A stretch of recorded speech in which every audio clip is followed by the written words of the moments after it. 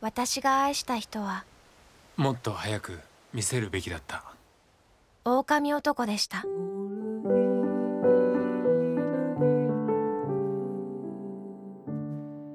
そして生まれた狼子供の兄弟。大きくなるまで見守ってろ。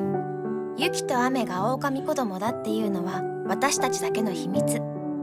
他の人の前で狼になっちゃダメ。ね？約束。わかった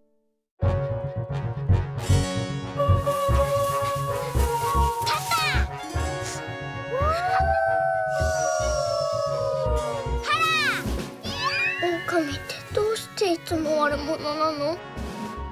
みんなが狼を嫌ってもお母さんだけは狼の味方だから。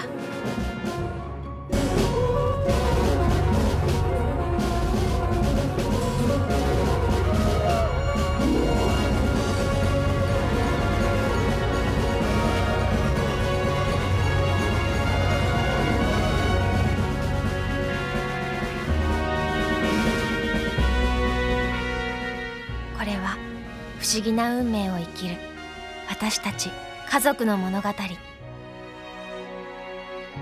狼子供の雨と雪。